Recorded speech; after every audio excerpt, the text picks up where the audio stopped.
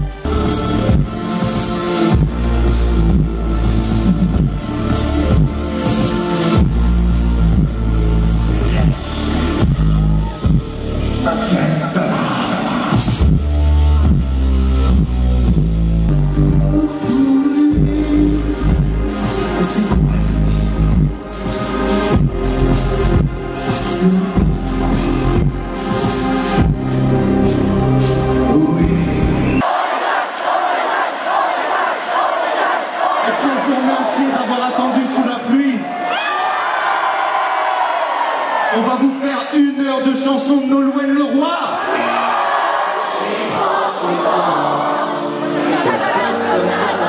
La vie,